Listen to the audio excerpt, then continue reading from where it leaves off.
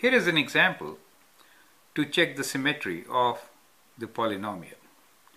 Well, the function given to us is f of x equals to x to the power of 5 times x minus 2 whole square times x plus 2 whole square. Now the degree of this polynomial is how much? Let's figure it out. So we have degree of 5 plus 2 plus 2. That is the degree. We have to add them up, right? Degree is 9. So we know degree is odd for us, right? So there is a possibility that this function could have odd symmetry, right? It is not must, right? So it is possible to have odd symmetry, right? Now, how do we test for it?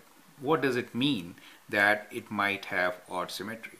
It really means that we have to find the value of f of minus x and if we get that equal to minus of fx then it is odd right? Odd symmetry I should say. So let's test whether the function has odd symmetry or not. So let's find what is f of minus x. We'll have f of minus x is equals to replace all x with minus x. That is what it means to find f of minus x so we have minus x to the power of 5 and then replace x with minus x. We get minus x minus 2 squared and then we have minus x plus 2 square. Now uh, minus x to the power of 5 is minus of x to the power of 5. Now in this case uh, what will happen? So what we will do here is we can write it like this. We can take minus outside and then write this function as x plus 2. Is it okay? If I factor out minus, it becomes x plus 2 whole square times, again I'll take minus factor minus out and I get x minus 2 within bracket whole square. Now square of negative 1 is positive. So therefore, I can write this as x to the power of 5 and since this is positive, I can write this as x plus 2, right?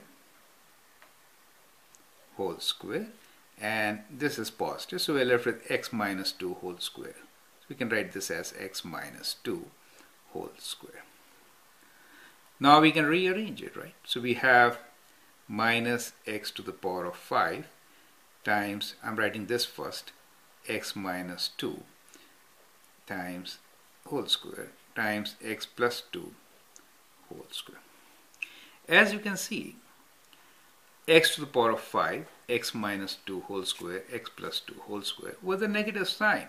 So f of minus x is indeed equals to minus of fx. Now since f of minus x is equals to minus of f of x, we say it is. It has odd symmetry, right? So that is how we can show that the function has odd symmetry. Odd symmetry really means that it is symmetric about origin, right? So that means that means it is, let me write down here, it means it is symmetric about origin